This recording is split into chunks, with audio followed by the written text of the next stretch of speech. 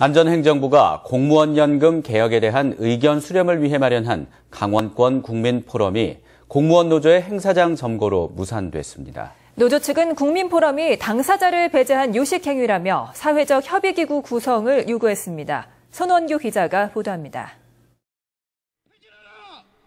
안전행정부의 공무원 연금 개혁 강원권 국민 포럼을 앞두고 공무원 노조가 일방적인 국민 포럼 개최를 규탄하는 집회를 열었습니다.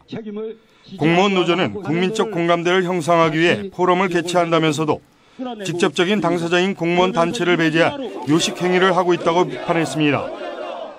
겉보기에 국민적 합의를 이끌어가기 위한 여론 수련인 것처럼 보이지만 속을 들여다보면 공무원을 공무원 연금 논의에서 배제하기 위한 하나의 정치적 여론몰이에 불과하다. 이에 따라 국민 포럼의 즉각 중단과 사회적 협의기구 구성을 요구했습니다. 집회를 마친 노조원들은 30여 분 전부터 행사장을 점거하고 박경국 차관 등 안전행정부 공무원들과 패널 등의 입장을 막았습니다.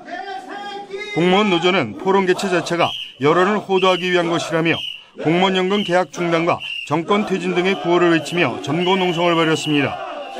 이 때문에 포럼 참여자들은 1시간 30분 이상 행사장 밖에서 기다리다 입장조차 못하고 돌아가 결국 포럼은 무산됐습니다.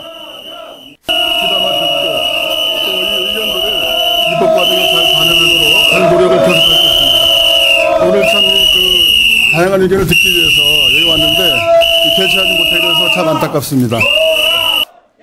한편 공무원 노조는 새누리당의 공무원 연금법 개정안에 대해 오는 10일까지 찬반 투표를 실시해 11일 결과를 발표하기로 했습니다. 또 투표 결과가 반대로 나올 경우 정부가 즉각 수용할 것을 요구하고 수용하지 않을 경우 총파업과 정권 퇴진 운 동 등 모든 수단과 방법을 동원해 저지하겠다고 밝혔습니다.